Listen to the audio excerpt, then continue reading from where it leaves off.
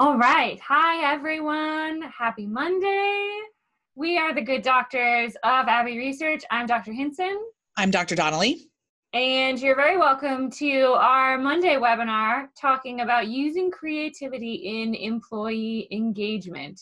So we're going to go away now on the videos. As soon as I can make the camera disappear, yep. as soon as we can get the tech to work, uh, we wanted you to see our faces and hear uh, because you'll be hearing our disembodied voices for the rest of the webinar. All right. Um, so we like to do this at the beginning of each webinar. It's kind of a check-in to make sure um, Dr. Donnelly and I are both teachers. So you always get students that walk into the wrong classroom and like you start, you know, welcome to Intro to Gender Studies, and they're like, oh crap, I read the room wrong, not in the right place. So this is the uh, room check part of the webinar. You're in the right place if you want to make sure that you're leading well. So certainly, um, if you're in charge of uh, dealing with employee engagement programs, you're in a position of leadership, so you're in the right place if you want to make sure that you're leading your people well. Uh, you know your employee engagement program needs work. So that's another big part of what we're talking about today is how we can help uh, improve your employee engagement program. AE, is it recording? Yeah. Okay, because it's not recording on mine. Sorry. No, it says it's recording. Technical issue.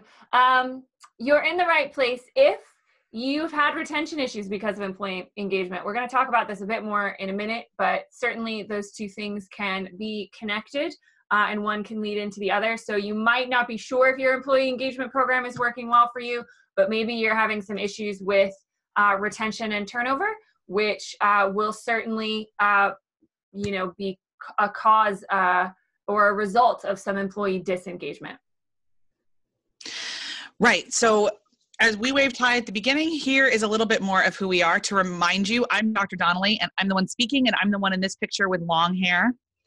And I'm Dr. Hinson, and I'm the one speaking right now, and I'm the one with the curly short brown hair.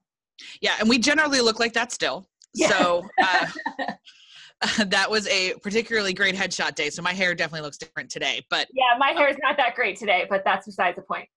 yes but we, we work with what we have. So we um, have been colleagues, friends, uh, partners for uh, a while. We met in 2011 when we were both living in Belfast, Northern Ireland, working on postgraduate degrees in social science at the Queen's University of Belfast which looks like Hogwarts, but is not that impressive. very prestigious looking building.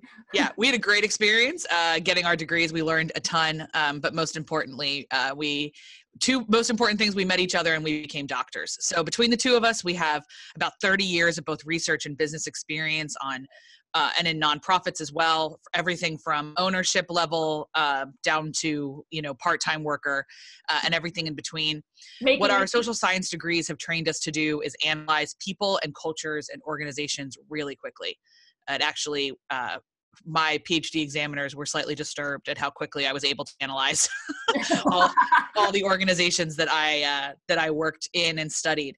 Um, and we've been, yeah, uh, lots and lots of experience working around the world as well. So, what we decided to do when we finished our PhDs was leave the academy. Uh, it, it, it, has enough people, and take yeah. the um, incredible skills that we were privileged to learn, and we wanted to bring it back to the marketplace because we were in we were in business for a long time, both of us, and we knew that there are a lot of people out there selling things. Um, that sound like what we do, but they're not actually really trained in it um, things like active listening and employee engagement and things as such. And so we thought maybe we could, uh, you know, help a bit. And so that's what we've been doing for the past couple years. And that's the entire purpose of Abbey Research. How can we take our skills that we've been privileged to learn and how can we serve you and yours? So today, what are we going to do to learn in that webinar? Let's get down to the very brass tacks of what's going on. So in this webinar, we're going to discuss the, the challenges of employee engagement. Our guess is that you'll be nodding along to a lot of these. As we talk about them, they're the things that we hear the most from our clients uh, and that we hear the most from our friends who are also in leadership. We're going to talk to you about the importance of asking curious questions. This is one of the cornerstones of our particular practice that in order to engage employees or any other human being, if we're completely honest, you need to be skilled at asking curious questions. So we're going to be talking about that. Part of asking curious questions is listening better and actively. We'll cover that. We're going to talk about the use of creativity to improve your programs. We are aware that the word creativity, people, when people hear it, they usually conjure up um, an art class from their elementary school days that they or, may or may not have enjoyed. Yeah, like graphic designers or people in your office that might be considered creatives. Um, but we're certainly going to talk about some more practical ways uh, that you can improve your programs through creativity. You don't have to have an art degree, we promise. Neither yeah, and no, neither of us do. And we promise this also doesn't involve finger painting unless you want it to. I mean, that could be what's best for your employee engagement program, but that's not necessarily what we're recommending. No, could be the cheapest way to decorate your break room. That's true. Um, we're going to answer questions about employee engagement. Um, and if you're watching this in one of the replays, please know there's tons of ways to get a hold of us uh, on whatever page you're watching this on, either our webpage or YouTube, uh, where you can uh, continue to ask questions about employee engagement, even if you are not engaging with this live. And as always, we're going to share our personal anecdotes, um, our witticisms, and lessons from both our research and our work experience. Okay, so one of the things Dr. Donnelly and I almost start every webinar with uh, is this reminder because self awareness is a large part of our um, platform of work and things that we talk about here at Abbey Research. So it's one of the most important qualities for any leader to have um, is to be self aware. And what that means is um, you know enough about yourself, you know you, how you got to your worldview, you know how you developed your leadership philosophy, your business philosophy your managing people philosophy um, because you really have to know yourself before you can even start working on knowing your people. So that is our important reminder that we start pretty much every webinar with. And we really feel that, you know, any cultural issue that you might be having in your office um, we don't think it's your only problem. So if you've come to this webinar because you think engagement is your number one problem, you might be right in that it's the most immediate problem that you're facing, but we certainly don't think it's the only problem that you're facing in your culture. Um, and we believe in doing enough of a cultural analysis to address the root cause for every problem. So engagement might be the problem that's most on the surface, um, but you might be suffering from a whole host of other problems as well. Uh, you might be suffering from um, turnover and retention, as we talked about at the beginning of the webinar. You might have problems with customer and client satisfaction. Certainly, if you have disengaged employees, they might not be um, performing their best service for your customers or your clients. Disemploy- uh, disengaged employees can have uh, poor physical and mental health. They're not going to be productive, or and you might not be as profitable. And you might also have other problems as well that could be contributing to disengagement, um, toxic cultural issues, uh, as we use uh, in the common parlance these days in the business world. So these could be issues from harassment, bias, discrimination, uh, to interpersonal, interoffice conflicts as well. So you, good news, you could be having a lot of other problems, but we're here to help you um, look immediately at your employee engagement ones. So let's get into this idea of using curiosity in employee engagement. And what we wanted to start first with was what does this idea of engagement mean? So bring a little stats in. We're researchers and we like to do our research. So according to a recent Gallup poll, 70% of employees, US employees, are disengaged at work. And that's a really horrible statistic. That means, on average, around 30% of your staff on a day to day basis feel engaged. But what does that word mean? We talk about employee engagement all the time. We're talking about it in this webinar. But what does it mean to be engaged at work? We want to spend a few minutes breaking that down. Um, so Gallup defines it, uh, according to their research into engagement, as engaged employees are those that are involved in, enthusiastic about, and committed to their work and workplace. Sounds wonderful. That sounds delightful um, it's very difficult, and we know this, to get employees that are at any given point involved and committed and enthusiastic about their work all the time. Like all three of those things involved, committed, and enthusiastic about their work all the time. That's like the dream world that's perfection. And we know that's not really always achievable or maintainable, but we're going to talk about some ways that you can analyze that and maybe uh, reach some level of parity with that in your organization.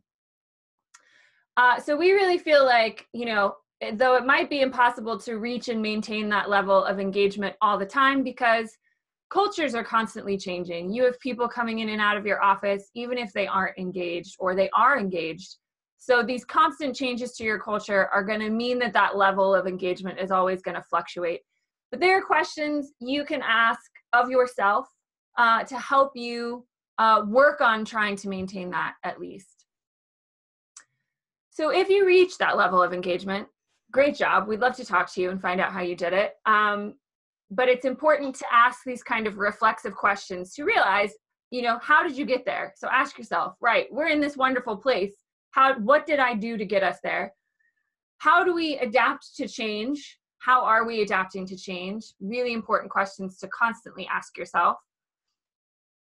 And then how do you continue to grow your engagement? So it's we don't want you to get to this wonderful place of engaged employees and then just stop and think oh job's done. Work's over. Engagement's really good. Everybody seems happy. I don't have to keep working on this um, one of the most important things to understand about employee engagement is that it needs to be happening all the time and you need to work on it all the time because if you don't that's when you're going to get disengagement if you don't stay working with your people you're going to find slippage in that engagement level so i mean everything Dr. Hinson just said, you may be nodding along and being like, right, that all sounds delightful. I am so far from there. I don't even know where to start. We, I know my folks are disengaged. I didn't need Gallup to tell me that. I know, I, I know that this isn't working. Maybe 70% is is really high for your office, but you've probably got one at least who you know is probably working on their resume at lunch. Um, or if somebody came to them, they'd be out the door pretty quick. And you may not care. That might be a good idea to get them out the door. But our guess is that a lot of you want to keep those folks. So that's why we're talking to you today.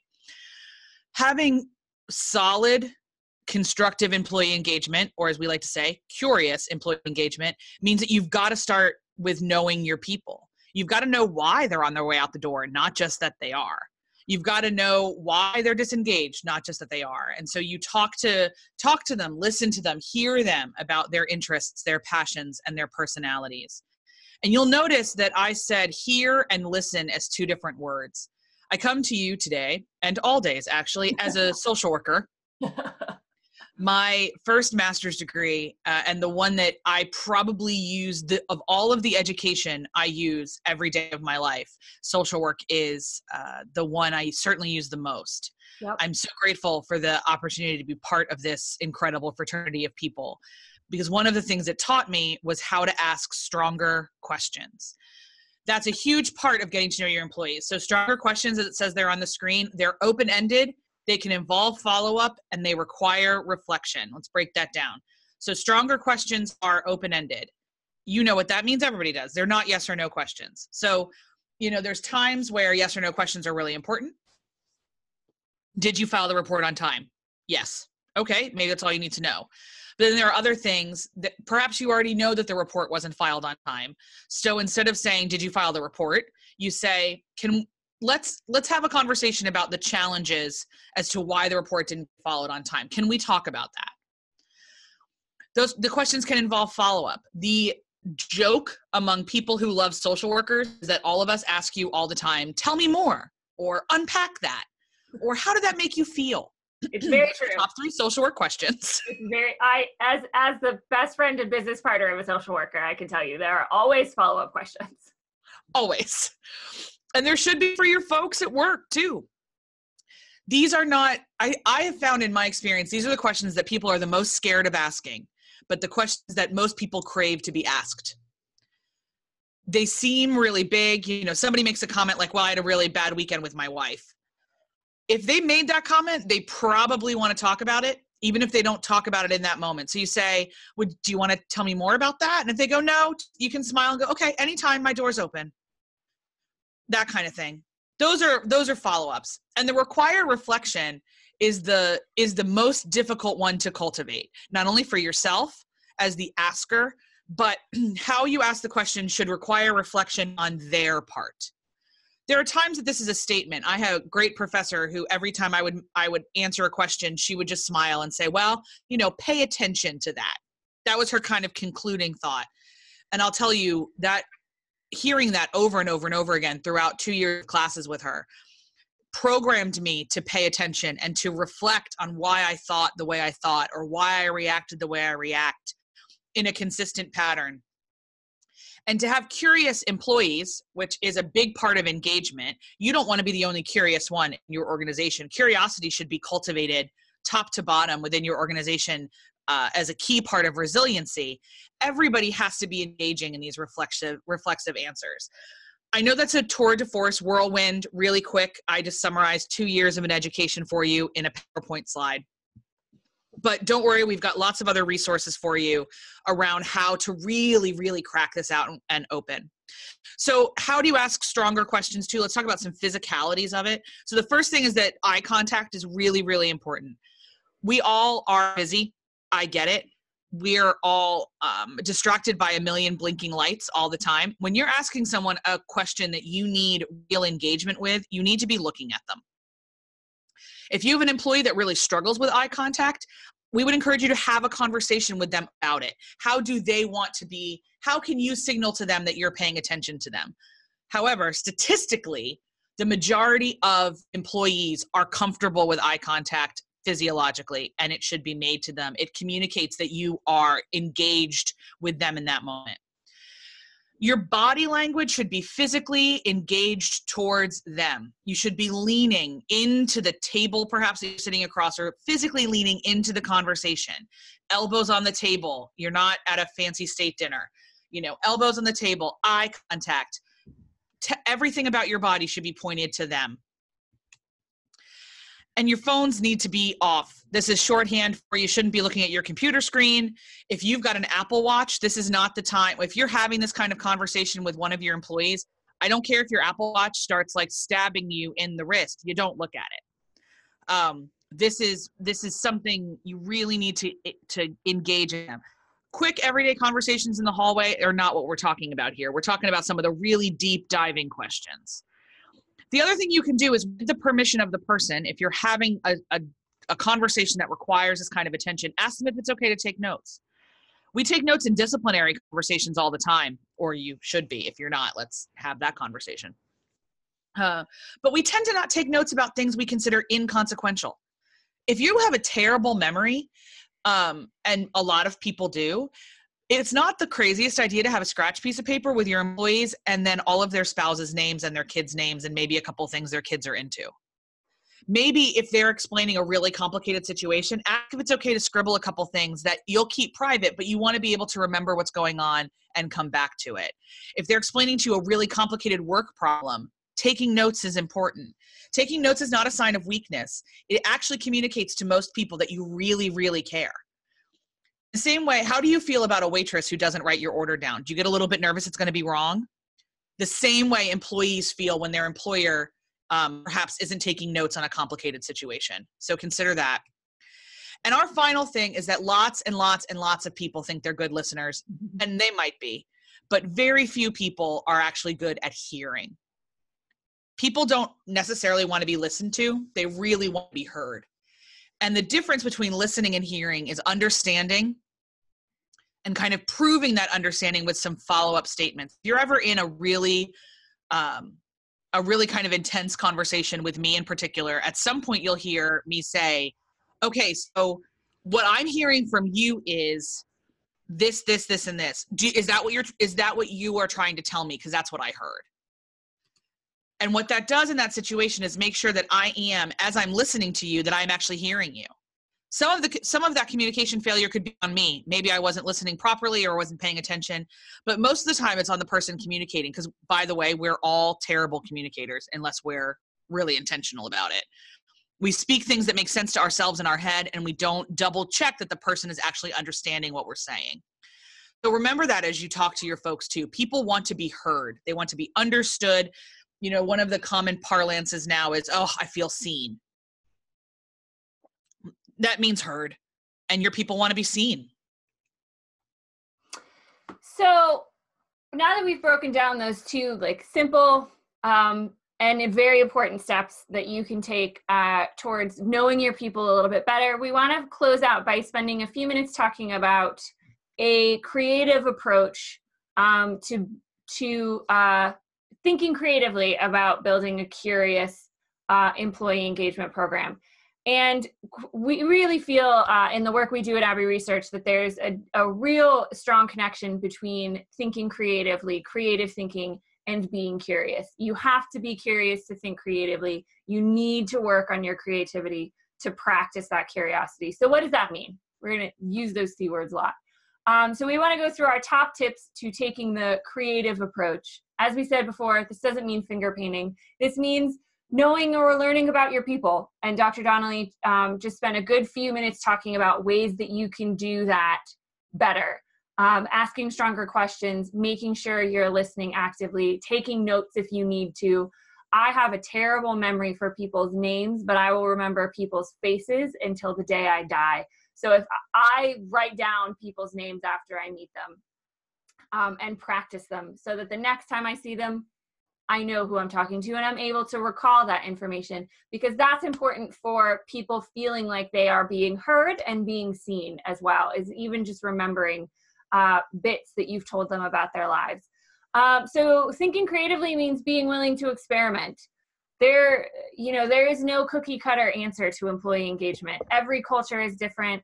Every program should be different based on the specific alchemy of people that you have in your organization. So uh, experiment with ideas on how to um, be creative in your uh, employee engagement. It might mean you try out a couple things uh, and they do or they don't work, um, but you have to have that willingness to give it a try.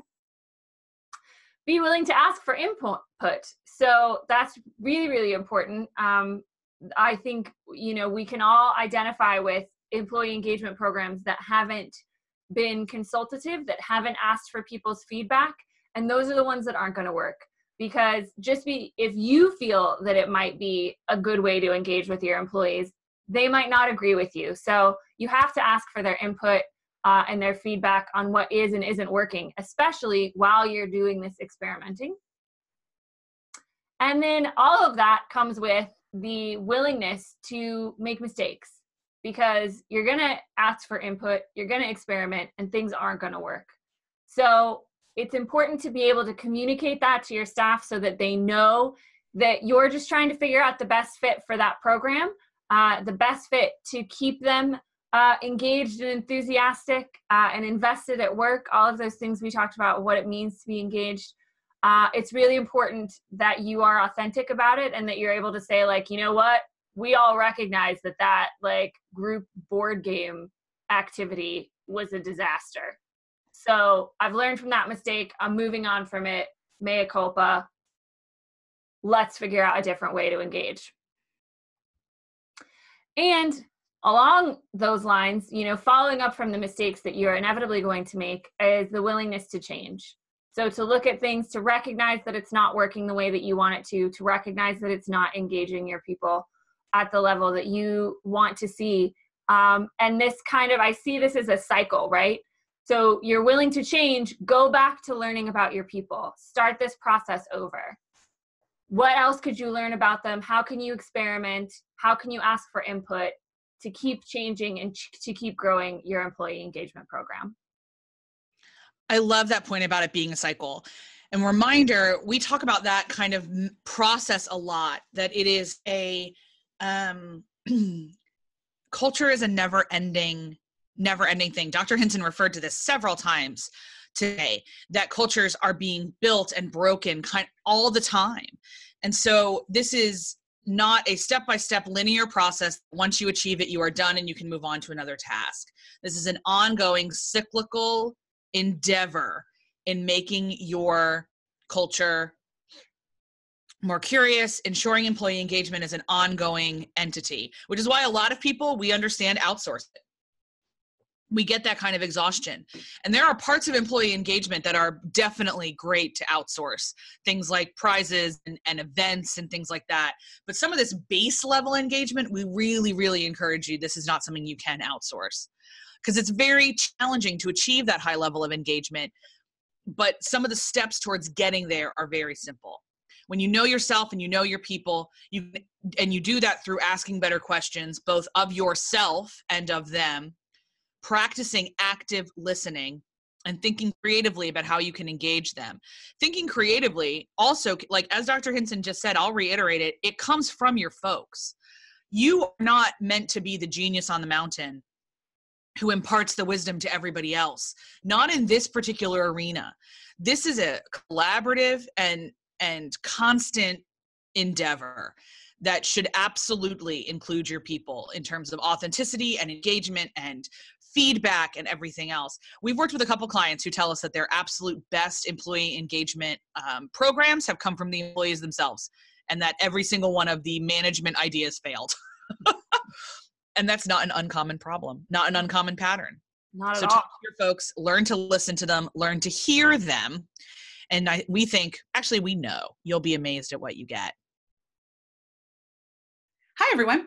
Thanks so much for watching the webinar. We hope that it was everything you dreamed and more. Yes. Um, and this one was edited, of Yes. course, but we would love for you to be able to join us live for the next one, which it will have lots more interactive opportunities, time for you to ask questions, and opportunities to win prizes. What? So how can you find out about our webinars? That's a great question. Great question. If you're watching this replay back on YouTube, there will be a link to sign up for our newsletter in the show notes below. If you are watching this on our website, just scroll down to the bottom of the page, sign up for the newsletter. You'll see a box that says Research Digest and a little thing. Type your email in there, and and away you go. away you go. We'll Uh, see you for the next follow us on all of our social media if you want to as well. We post about uh, our upcoming webinars and all sorts of things uh, of interest there as well. So we hope you've enjoyed this replay, and we really look forward to seeing you on our next webinar. Uh, see you later from the Good Doctors. Bye.